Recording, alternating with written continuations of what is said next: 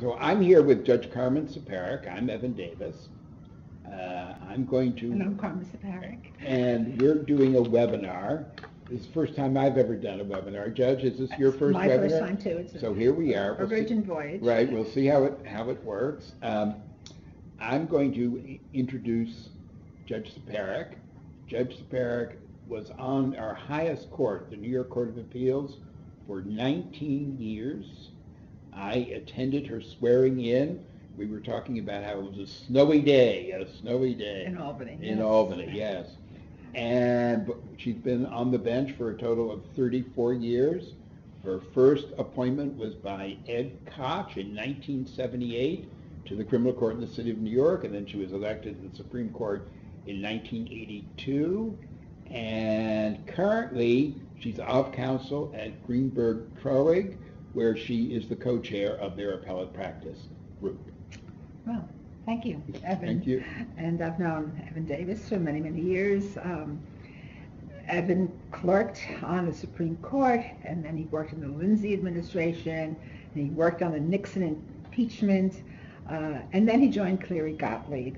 Um, but he took a hiatus between 85 and 90 to become uh, Governor uh, Mario Cuomo's counsel. Um, when he left there, he came back to Cleary Gottlieb, and, and now he's a senior counsel, correct? That's all correct. Okay. That's good. Thank you. So we're going to talk about the upcoming vote, November 7th, on whether New York should have a constitutional convention. And we're going to try to give some background information on how the process works. We're both uh, in favor of a constitutional convention. Yes. And we've been, uh, we're on a committee of other people who are also in favor. We'll be talking about that, but we're going to try to Mhm. give you some of the information that's a background that will help you make up your own mind about how you want to Yes. vote. In addition, I'm on the New York State Bar Association Committee on uh, the Constitutional Convention chaired by um, Hank Greenberg, And that committee came out in favor. with a recommendation in favor of having a constitutional convention, yes. So let's go, uh, let's continue through these slides here. So one thing that's important is to understand what a constitution is. People generally know a little bit more about the federal constitution, I think, than the state constitution. And that's unfortunate because the state constitution is actually very important since states are the unit of government with the broadest responsibility. mhm. And what many people don't know is that state constitutions provide more protections to its citizens than the federal constitution does. and it governs, it's binding, it's the supreme law of the state. It's binding on judges, it's Mhm. binding on the governor, it's binding on the legislature. Uh, you can't pass a law that violates the Constitution, and the judges get to decide whether the law violates the Constitution. And everyone in state government and local government too takes an oath to defend the Constitution of the state of New York. To uphold the Constitution of the State of New York as as well as the Constitution of the United States. So it's a very, very important document. And, and one thing I guess I'd add is if you sometimes maybe worry about the makeup of the Supreme Court of the United States, which some people do, um, if the Court of Appeals makes a decision based on the New York State Constitution, the Supreme Court can't touch it. Absolutely. It's not a federal question. And the Supreme Court can only take on federal questions. Mhm. So it's a tool for the judiciary to use in a way that can't be overturned by whatever is happening in Washington. True. And it has been used over the years by the judiciary. Right, so uh, for instance, in the First Amendment area, Right. the New York State judiciary is given stronger Right. interpretations than the, And also in the criminal area also, our defendants' rights um, consistently been protected by uh, our courts using the state constitution. so now we're going to go to the next slide here. So a, a difference between the federal constitution and the state constitution is the federal constitution, if it's amended, it's done with the consent of state legislatures, three quarters of the state legislatures. But our state constitution can only be amended with the consent of the people. So it really is a contract between the people and their government. It's not a contract between the states and the federal government, but a direct contract between the people and their government. There is an alternative method of amending our Constitution and, and has been used over the years regarding individual amendments where the state legislature has this one who proposes the amendments and then, and then people have to vote on it. And we have a slide that discusses that Uh-huh. uh, in a minute, but I'm just going to, just to go through these, these slides. But uh, with regard to the, the two methods, and we'll come back to that, Okay, um, both still require the consent of the Yes, people. absolutely. If the legislature proposes an amendment, the people have to agree. Ratify it, yes. If a constitutional convention proposes an amendment, the people have to agree. Mhm. So it's always the consent of the people. So our first constitution was held during the Revolutionary War. And I've always thought it was sort of interesting that this was a constitutional uh, convention to replace the Crown Charter. Uh-huh. okay. And uh, King George III wasn't exactly pleased that they wanted to replace the Crown Charter.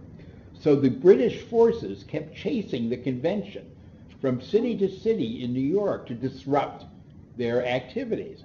But they kept ahead of the British, and they met, and our first constitution, written by that convention, was in 1777, right in the middle of the war. The war would go on for a number of years after that, and that was our first convention.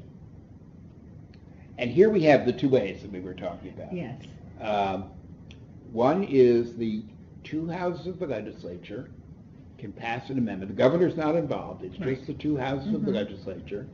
They have to do it twice, consecutive sessions. two consecutive Yes. sessions. And then, if they've done that, if the legislature has put forward that amendment, it goes to the people. Yes, And the only other way is once every 20 years, the people, mm-hmm. without involvement of the legislature, can call a convention, and it automatically goes on the ballot for them to decide whether to have a convention.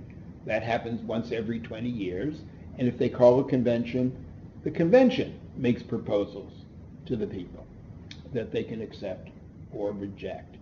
And those are the only two methods. One requires the legislative's participation and approval, the other does not. And so one reason that this was probably put into the Constitution, this once every 20-year provision, is so the people would have a way, if they were not happy with something the legislature was not dealing with, that they could take direct action. uh, for example, uh, unsuccessful uh, proposed amendment. Um, Several years ago, there was an amendment to, to raise the um, retirement age of of the judiciary, and that went down to defeat. Um, People rejected that amendment, proposed amendment, whereas um, in the sev- in the late 70s, 1977, there were three proposed amendments, one to uh, making um, the Court of Appeals an appointed court as opposed to an elected court. Secondly, um, uh, creating the um, Commission on Judicial Conduct. Um, For that, there had been um, no one independent body that would um, investigate and- and uh, uh, propose discipline on on judges' misconduct. And the third one was creating the unified court system. And those were three very important um, reform recommendations which did pass two sessions of the legislature and were ratified by the people at the ballot box. But in terms of a whole scale constitutional amendment in the Constitutional Convention, the last one was when? So the last convention that proposed amendments that the people accepted was in 1938. That's a long time ago. And, and 38 proposed some very important amendments Mhm. that were very good and accepted by the people. They made nine proposals, six were accepted, three were rejected. The six that were accepted included workers' comp, the right to no-fault workers' Mhm, comp, very important. The Labor Bill of Rights, Yes. also very, very important. Article 17 comes out of the 1938 convention, mm-hmm. care of the needy. Right. So the 38 convention was a good convention in terms of putting forward ideas, the people decide what they like and what they don't like. The same process you just, you just described. And with regard to the most recent convention, 1967, that was a convention, the legislature can also initiate a convention, and they Mhm, mhm. did. But they made what I view as a tragic error. They put it to the people all or As one nothing. package. It was as a that single or, package. and guess who didn't like being told it was a single package? People. The people, and they voted it down. So. I, I, I hope that mistake would not be made again, because it turned out to be a big, big mistake. So let's go to the next slide here. So this way of doing it, where the people get to uh, take the initiative and don't have to uh, get the approval of the legislature, doesn't happen again until 2037, Oh, because it's every 20 years. And of course, I won't be sitting in that I, chair. I, I, I- I feel the same way. But if you're a younger person, you know, and you think, well, maybe next year.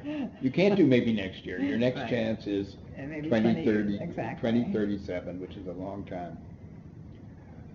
So, um, people want to know what happens after if they vote yes, which is very important. So there is a bunch of steps, and they're all laid out in the Constitution. Mhm, So these are, you can say for sure that these are the steps that get followed. So step one is yes, no vote this Right. November. This November, Step, 2017, step two is in 2018, next year. we would elect 204 delegates, This is statewide. Um, 15 are statewide, and, and three per Senate district, but all, so the voting is all over the state. Right, For a total of 200, for, for a total of 204, because there are 63 Senate districts, so three Mhm. each is 189, plus 15 is 204. Mhm. And then those delegates get elected, and they convene, at, it says at the Capitol. It doesn't say they have to stay at the Capitol. They can move around the state, which I think might be a good idea, holding, you know, different hearings in Yes, different parts of the state. Um, In April of 2019, they, they make proposals, and it takes 103 votes, majority, to adopt a proposal. And then, as we've been discussing, the proposals go back to the voters for uh, approval in the manner decided by the convention. and that would be the following election year, correct? That would be the following year, following the finishing their work. Mhm. I, I think it could well be in 2020, which would Mhm. have the advantage of being a year when there'll be a high turnout Yes. at the polls, because Yes, it will be, it'll be a, and, and presidential. presidential, So right, it will be, uh, there'll be a lot to talk about in Yes, 2020. Yes.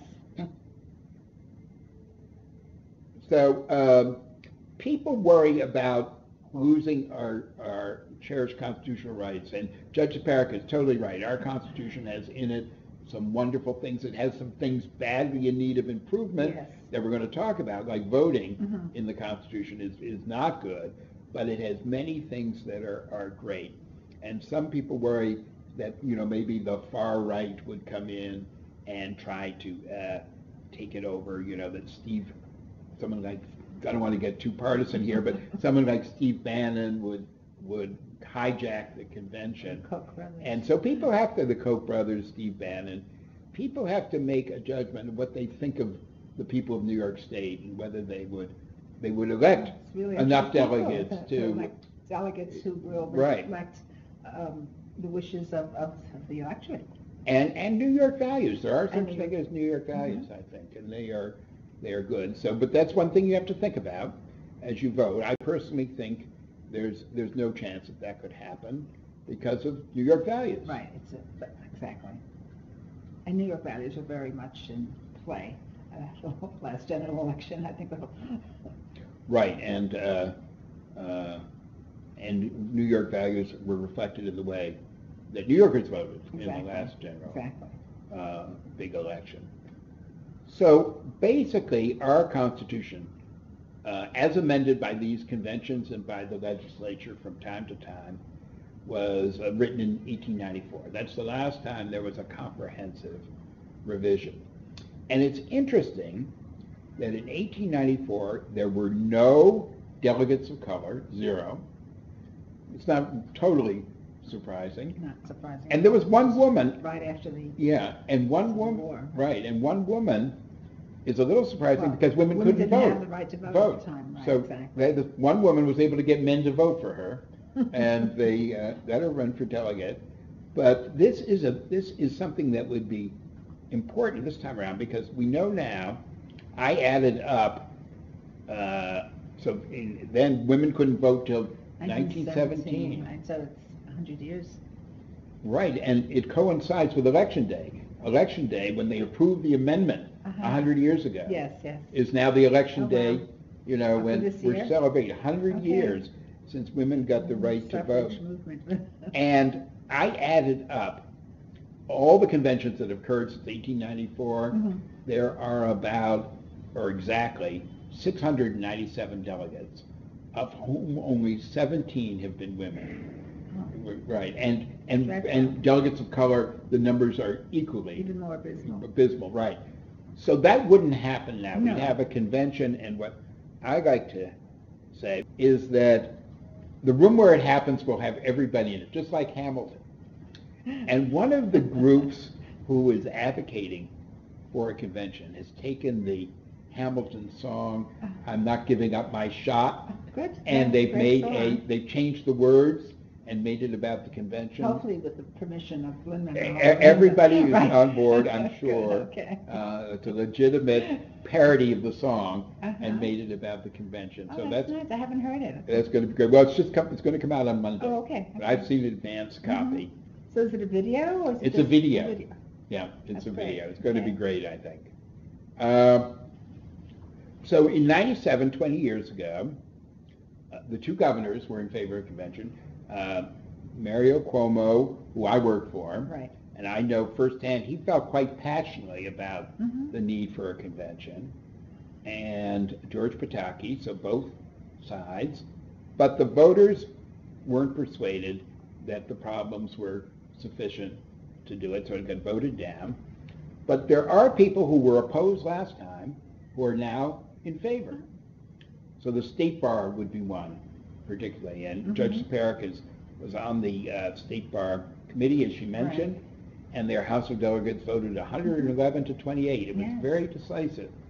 And I would say, I don't know, Judge, what do you think? Because you were on the committee, you can say better.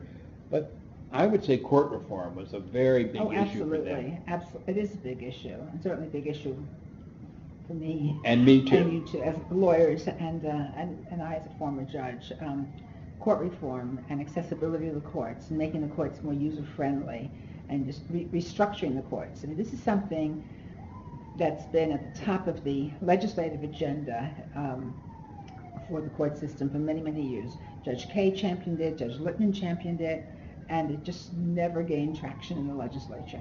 And it seems to me that the only way it's going to be, it's going to be true reform um, would be through a convention. And this would open up the courts and make them more accessible and user-friendly to, to, to everyone. Um, it's just too Byzantine, too convoluted. Uh, folks are made to visit two or three different courts with basically the same issue. They have a housing issue, they have domestic um, problems at home, uh, they have matrimonial issue. That's three different courts that they would have to visit, basically to service the same family and, and their needs. So I, I see the, Con- the Constitutional Convention as really the only vehicle um, for getting much-needed court restructuring. So another group that uh, was opposed 20 years ago and is in favor now is the League of Women Voters. And And they, they, it's a similar kind of story in Mhm. that they've been trying to get things done and they're a grassroots organization and they've just been beating their head against the wall. And so that's, that's been a problem. Now, uh, my slideshow here indicates that top judges, uh, top court judges are supporting the convention, and one of them is sitting. former top. Former, Right. former, right, former, and it says former. Good, Uh, okay. Right, and, and they are Make uh, our the viewers judge. aware of the fact that Right. um, sitting judges Can't take a position. cannot, least not public. position. Right. Right. Uh, and so Chief Judge Jonathan Goodman, Judge Ciparick, who's sitting next to me, Judge Graffeo, Right. who, uh, uh, She's now a former judge, Right. and she was, uh, she's from the Albany area. from the Albany area, right? And, uh, And she's now um, at Harris Beach. right, and you were appointed by Mario Cuomo, Mhm. and uh, Chief Judge Goodman was appointed by Governor Paterson. Right. And Judge Graffeo was appointed by Governor Pataki. Pataki, right, So right. we have a whole Mhm. Range there. And Governor uh, Andrew Cuomo said he's for the convention, and former Governor David Paterson has said he's for the convention. Mhm, mhm. Uh, So that's some uh, are important voices, support, yes, right? important Right? voices, Right. Four of the five legislative leaders don't want the convention. Why is that? I think, well, just, I think we just let the audience think about that, and they can decide for themselves what the, the reason is. There, it, it's all a question of whether you like the status quo, and how much you're upset about the status quo. And, it broke, don't fix it, right? right, right. So we are, uh, the people who are for the convention see urgent need to change the status quo, whether it's in the court area or other areas. Mhm. Those who are uh, against the convention are basically find that the status quo works for them. Uh, My own personal opinion is, the extent to which it works for them, I'm not going to debate, but it's not working for the people. And that's what really should count. So corruption is an issue that comes up because, you know, there have been a lot of indictments and convictions and people, the polls show that people in New York are worried about that. So the opposition group has named itself New Yorkers Against That Corruption. seems to be a misnomer. Uh, Right, I, I agree with that, but uh, uh, there is a, a group of us who want to see ethics rules and enforcement strengthened in the Constitution. It doesn't think the legislature has been able to um, um, uh, cure itself of the problems that they need to address. Anybody today that has real power needs good oversight for corruption. And you know, Judge, you mentioned the Commission on Judicial Conduct. Oh, And you, you've served on that, I believe. And For it's eight years, worked yes. very well. You have the power to sanction people. Mhm. You operate on a fair basis. You've got all branches of government represented, right? Yes, On the, Yes. And uh, I think it's worked very, very well. And something like, Subject to the review by the Court of Appeal. right, and anything would be, because Right. that's, uh, Mhm. it's any kind of process where you are But it was an independent commission. Right, and we don't have an independent commission for the executive branch and the legislature. And there are many people, I think, who think we should, Mhm. along the lines of the Commission on Judicial Conduct, which is in the It's a Constitution. good model. And Good it's model. worked very well. Very well. So, and we all know the scandals, I'm- I don't need to dwell on it, everybody's aware. They're, the scandals are bipartisan, uh, the scandals Equal are. opportunity. Equal opportunity, are both branches, Mhm. you know, and so it's, we don't need to dwell on that, but they're there, and, and it is a reason to tighten up and have a commission like the Commission on Judicial Conduct for the legislative and executive branch. So right now, you know, a lot of this has been prosecuted by Preet Bharara, who is the United States Attorney in the Southern District of New York, and uh, um, he uh, he brought a lot of these cases, and uh, he has been fired. So, but anyway, it's just not right that the state should depend on the federal government to do this. Uh, We don't, do- with the Commission on Judicial Conduct, we don't depend on the federal government no. to deal with the judicial They're our own branch. And, and we value the independence of the judicial branch greatly, but this doesn't hurt that. And we can do the same and not have to depend on the federal government to keep our system ethical. Another issue that is uh, important to a lot of people, and this is one where our Constitution is hurting us rather than helping us, is in the area of voting. Because there are so many provisions in our Constitution And Weren't we that make it hard to vote. Aren't we Ye- forty-fifth in the country? in Yes, terms of we- Voter turnout? we are very, very low in voter turnout. And for such a sophisticated state like New York to be way down there, that seems to be a shame. Right, it is, it is a shame because it means that everybody's not having their voice Mhm. heard. And I am certainly not one who blames the voters. I, I, I understand how hard it is when you maybe have a family where there are two people working and with commutes and maybe also, you know, putting uh, food on the table for the kids and helping with their homework and going to recitals and all the things that people have to do.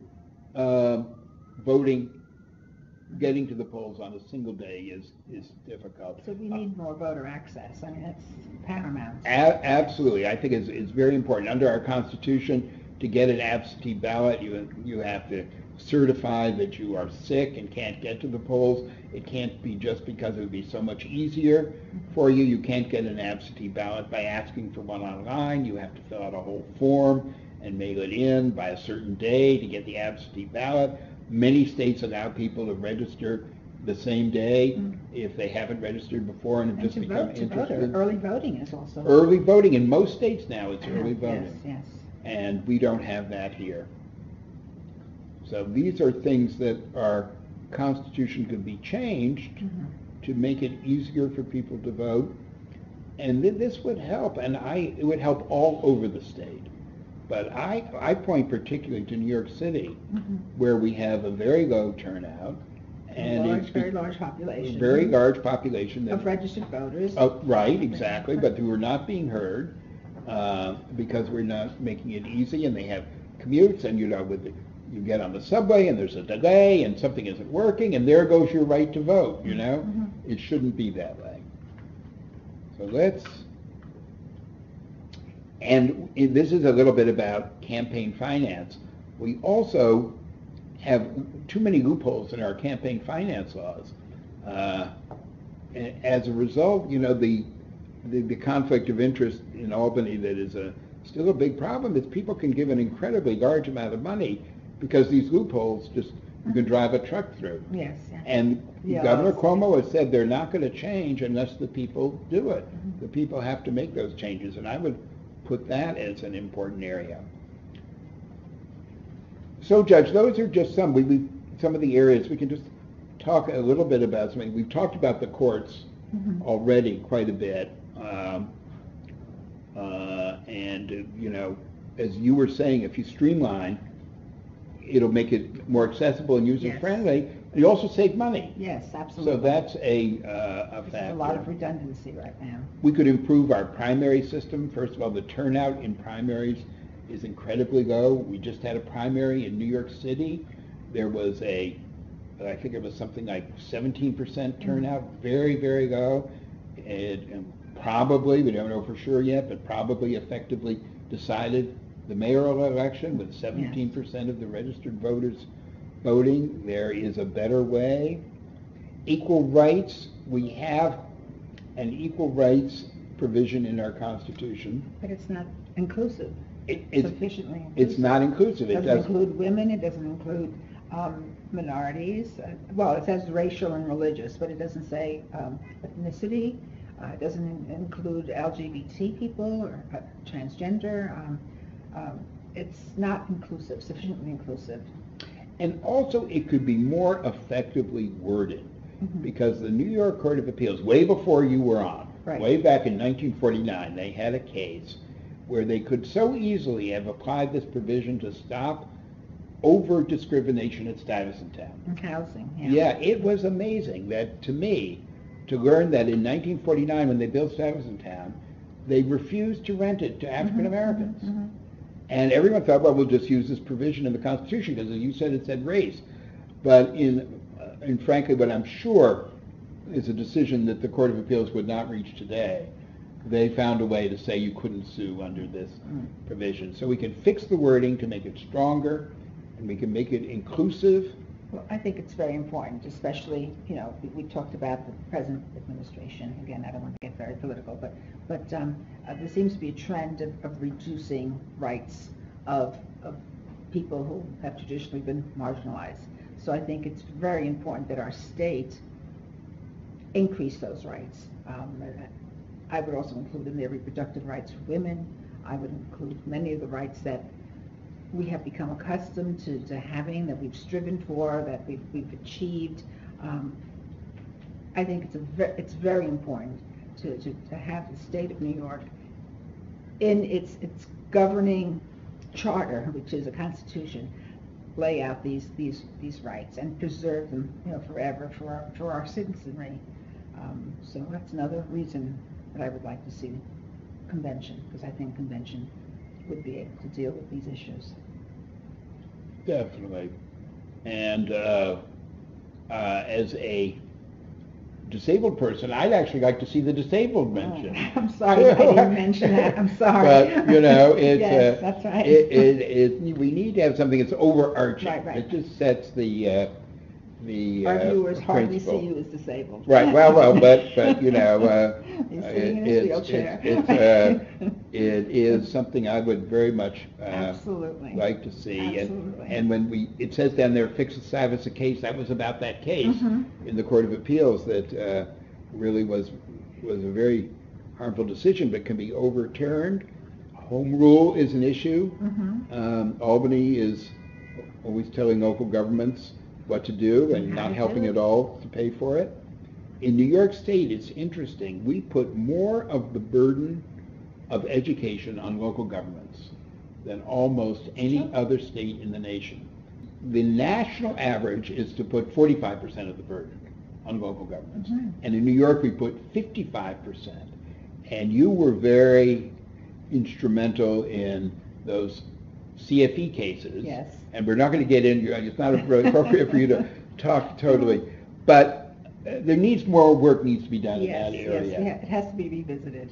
Right, because we've got to give more, find a way to give higher priority Mhm. to getting that state support to where it's needed the most. Right, right. And uh, that's just, I think, for a lot of New Yorkers, that's a, a big, big, Well, you were issue. very involved in those cases too. You were, uh, you represented one of the parties. I, I represented the New York City Board of New York City Education, Board of Education. right? and who wanted, obviously, to see the case uh, Mhm. succeed. And, and progress was made, but Yes. more work needs to be done. More work needs to be done. Anything What about else? Immigrant rights. Um, Immigrant rights, I think, are very important. This is a, um, you know, let's take DACA. Right, I was thinking, that's Yeah, what I was for thinking. DACA. The DREAM Act, right, exactly. So right now, the, the poor folks subject to DACA are in limbo. Right? You know, and, uh, And our president says, school, says he's canceling it, but he'll revisit it, and you, and if, I would be terrified, you know, if I've grown up in my whole life, and, and many of them are at school, Right. and even now in the workforce, Mhm, mhm. because they've grown up, and to discriminate against them is terrible. And the state, you know, state constitution, we can't reverse federal immigration law. exactly, But we can't, we don't give um, the DACA kids driver's licenses. And we really should be, Mm. they should have a right to get a driver's license. Because in order to work order to work upstate, you know, you often have to drive. And uh, there's just so much that could be done in that area. And the Equal Rights Amendment we talked about would protect immigrants, the courts including have- I mean, undocumented the courts have- I immigrants. know when- when I sat on, on the Court of Appeals, there were some uh, cases that came up regarding workers' rights of immigrants, et cetera, and, and we um, protected the, the worker, um, the immigrant worker. Of course, the, you know, the other side argued that um, they weren't entitled to the same protections, but, you know, we, so we've kind of expanded, and then that's another thing I want to bring out. A lot of case law in New York has expanded the existing constitution. So why not perpetuate it in the Constitution itself, the expansions that have been made? Um, Lock it in. Lock it in, so at least we can't go backwards, you know, lock it in. Um, Because, as you know, um, New York State Court of Appeals could, could rule on something, and then the legislature in the following year could decide to change it. Um, And, um, you know, so that, that's a problem. That's a problem. So if we can lock in those rights and those guarantees um, that people have, you know, maybe another 20, 40, 60 years before anybody could challenge it. And, and I think today in New York State, public sentiment is overwhelmingly Mhm. with the DACA kids, for example. Oh, absolutely. It's very, very strong in their support, Yeah, and this would be a great time Right, to lock it in. right, our own DREAM Act. All right, well, that's fine, but put it in the Constitution, um, if we can. And, um, And I- I- environmental, environmental rights, increasing the environmental rights. Uh, Many states Water. have done that, we Yes. haven't done that. Exactly. We could do that, and it Mhm. would give more because it would be in the Constitution, it would give courts greater tools Exactly. to make sure we're not going backwards. Mhm, mhm. Uh, Maybe they're not going to order, you know, a million dollars to be spent, but they can keep us from going backwards. Right. Which is so important in this Well, speaking area. of advocacy tools, uh, many of the um, legal services, uh, many in the legal services community um, have indicated an opposition because, uh, to the Constitutional Convention because of fear of rolling back of the aid to the needy um, provision, uh, because they have used it as an advocacy tool in order to gain many benefits for their clients. Um, As you said earlier, I, I don't see that the, that the will or the values, the New York values, as you called it earlier, um, would be there to, to roll back um, uh, rights and, and, and um, um, entitlements that people have gained as a result of, of using that um, provision. Uh, so I, I don't, I don't see how that would in any way be affected. If anything, it would be increased and, and um, strengthened and, and made more effective. And the same with the education article. Um, I think it's an opportunity to make it stronger. Um, So, Well, if there is a convention, uh, I know I want to run for delegate. I know. And try to convince the people to vote for me. Right. And maybe uh, it would be great if you'd be willing to run for delegate. We'll see. But kinds of people who are going to be delegates, I think are going to be the, uh, who- people like us, and people like New I Yorkers so. with its values. So, as you say, we'll see, but, but I think that's where our state is, and it, it's a good time to lock these things Mhm, in. mhm. Well, this is great, Judge. I really appreciate Well, your thank you. doing I- this. I enjoyed this. It was And, uh, wonderful to have a conversation with Right. you, Evan. Well, thank you, Well and- and feeling so is totally years. mutual. And Right. I should tell our viewers that Evan was very instrumental in help, in helping me, um, get on the Court of Appeals those many years ago, and I, I will be forever thankful. So, thank you, Evan. Well, and thank you for all the good work you've done on, while you were on the court, so that really is critical and important. And thank you to our uh, listeners uh, for listening to this, and most important thing, I'm sure we all agree, is to vote on To vote. November 7th. Right, and vote yes. And vote yes. Thank you very, very much. Bye-bye. Turn the ballot over and vote yes.